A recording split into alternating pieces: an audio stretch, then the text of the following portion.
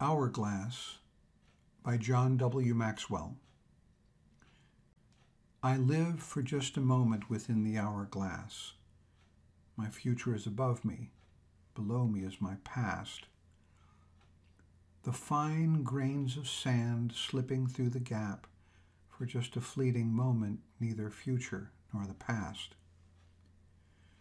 Within the bowl above me, grains of fate I must accept within the glass below me, promises broken, promises kept.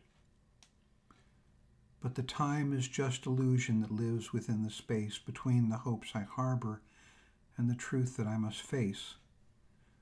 While I dream about my future or dwell upon my past, my present slips away from me as grains fall through the glass.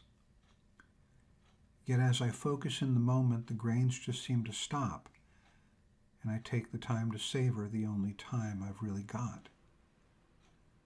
When I peer into the sliver between the future and the past, I find a vast expanse of time within the glass. A sudden hush of silence falls upon my soul, quieting the chaos of voices I could not control clarity arrives for me as I choose to stand in the peacefulness of being simply that I am. The hourglass can seem to be some master's master plan, yet peering closely I can see it's only grains of sand.